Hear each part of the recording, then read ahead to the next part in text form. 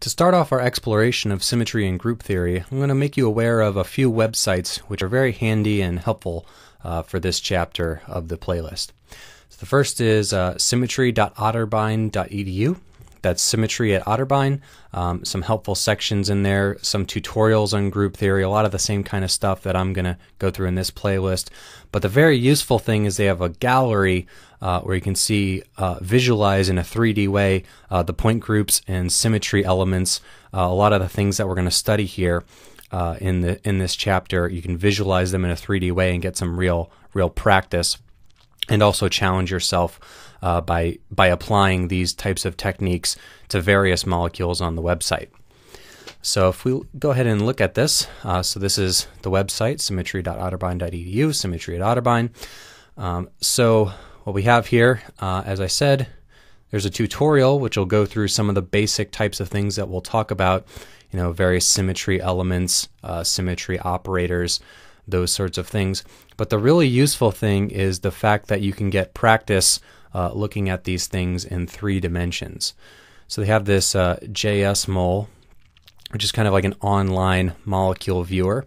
So here we have ammonia, and we can practice this by seeing uh, the various symmetry elements in ammonia. You can rotate this around with your cursor. So things like when I talk about mirror planes, can actually select them and you can see what they actually look like.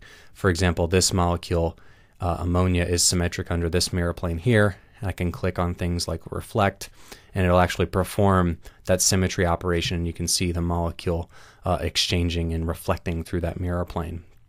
And whatever symmetry elements for the molecule there are, you can select those as well. So they have that introduction there. That's the tutorial part. And then the really nice thing is that there's a gallery of tons and tons of molecules here, pretty much any molecule you could want to look at in terms of uh, various point groups. They're also sorted by uh, point groups, which we will uh, study in detail.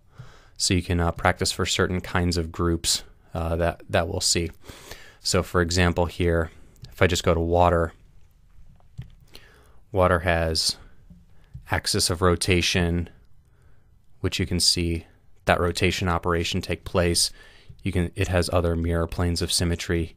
You can see those operations take place. So, a lot of symmetry in group theory is a lot like parts of organic chemistry, like chirality, uh, where it's really a 3D phenomenon and you need a lot of practice and visualization to really see what's going on. So, this is a great website where you have lots of different molecules and lots of different kind of spatial objects where you can see a lot of these things. You can see a lot of them in motion and actually see how they work in practice. Okay, then the second is from Jacobs University in Germany, and this has a a uh, collection of character tables. So, character tables are also something that's going to be very important for molecular point groups, which are uh, things that describe the symmetry of molecules. And character tables help us do very useful things like determine which atomic orbitals are allowed to interact, which what the IR active modes and Raman active modes of vibrations of molecules are those sorts of things. Uh, right now, they're just going to look like a bunch of tables of ones, zeros, and occasionally twos and threes. But for the various point groups, uh, these will be things that you'll need to look up at various times. So, for example, uh, water, which is part of the C2V group, uh, this is a character table for that.